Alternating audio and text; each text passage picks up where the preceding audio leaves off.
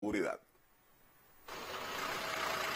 Con las primeras horas del día comienzan a llegar al Hospital Provincial Camilo Cienfuegos los ómnibus pertenecientes a transporte escolar. Hoy sus pasajeros no son estudiantes y sus destinos no son las escuelas.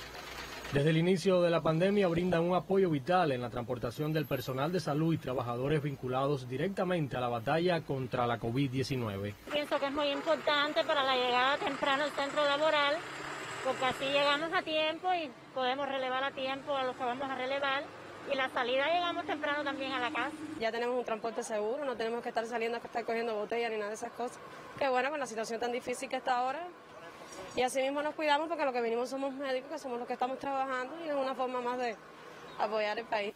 48 ómnibus cumplen con el recorrido de las diferentes rutas, garantizando en tiempo la llegada y salida del personal de salud. Un total de 2.000 trabajadores y pacientes son trasladados diario. Nuestros transportistas en este segundo rebrote, bueno, se han incorporado a esta tarea.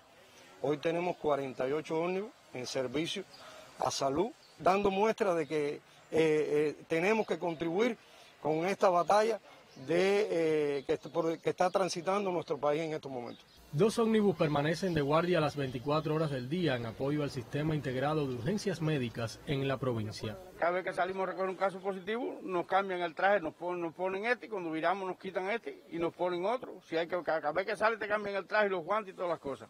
Te desinfectan el carro con cloro, con hipoclorito, lo fumigan con una mochila y y cada vez que recoges algún paciente que, le, que lo trae para un centro de aislamiento o para aquí, te dan las gracias, todo el mundo agradecido del trabajo que estamos ejerciendo. Son historias de héroes que desde hace más de un año arriesgan su propia salud por ayudar a otros. Historias que seguirán surgiendo de un país que se une en la batalla contra la COVID-19 y que hoy pone su esperanza en el pinchazo que da vida.